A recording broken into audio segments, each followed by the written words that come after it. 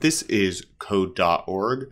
I'm working on CS Discoveries, Unit 2, which is their web development unit, Lesson 11, which is elements, styling elements with CSS, and I'm on part 7, layout with CSS. Border radius.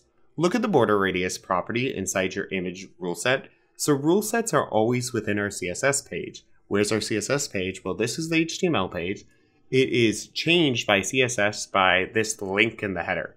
So the head tag in between head and head, it's link rel style sheet perf equals style sheet CSS. So the name of our style sheet for this is style. Let's see. There it is.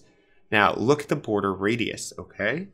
Inside the image. Here's what's impacting our image. There's radius. Discuss with your partner what you think this property does. Hmm. I'm not, I mean, it must change the size of the border some way. Uh, maybe makes it bigger and smaller. Um, what's oh, we can try different values. All right, I'm gonna make this huge. 150. Oh, you see what that did? It makes it like a circle. Interesting. What if I make it zero px? Oh yeah, it goes back to a rectangle. Well, let's try. I don't know, 25. Oh, that's kind of cool. Really rounded. What if I do 45?